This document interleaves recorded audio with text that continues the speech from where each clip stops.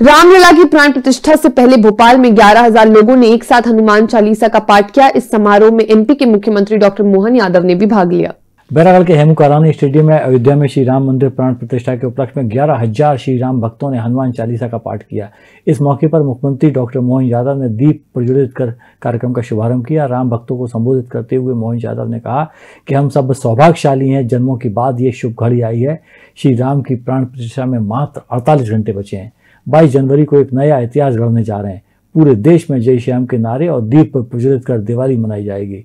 इस मौके पर उप मुख्यमंत्री राजेंद्र शुक्ला, भाजपा विधायक रामेश्वर शर्मा सहित कई लोग मौजूद थे। हम सब सौभाग्यशाली हैं। परमात्मा की कृपा से कई जन्मों के पुण्य के बाद ये घड़ी हमारे आँखों के सामने आ रही जिसका इंतज़ार है। अब 48 घंटे बाकी है इस घड़ी से। हम केवल 48 घंटे आज से कल और कल से परसों और परसों जो इतिहास बनेगा, इसी समय शुरू हो जाएगा। इसलिए मान के चलो कि उल्टी घड़ी चालू हुई है, उल्टा कैलेंडर चालू हुआ है और हम सबके लिए।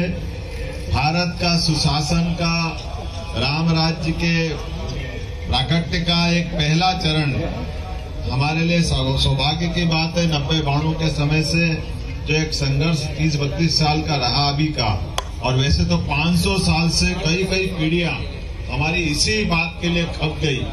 हमारे आराध्य प्रभु श्री राम का मंदिर अयोध्या में, दुश्मनों की निगाह में वो कांटा बन के खटकता था, जो सम्राट विक्रमादित्य ने बनाया था। और काल के प्रभाव में आरोह अवरोह होता है, कभी अच्छा आता कभी हमारा समय खराब था। और हमारा खराब समय खराब था तो उसमें आताइयों ने हमारी अपने धर्म पे गलत निगाह डालते हुए। ये उसी प्रकार से जो सैतालीस में हमारे हाथ से सिंध का जाना हुआ, पंजाब का बटना हुआ, पाकिस्तान का बनना हुआ, हिंदुस्तान को खंडित होना हुआ। परमात्मा करेगा, आज नहीं तो कल हम वापस देश एक करेंगे, अखंड भारत फिर बनाएँगे।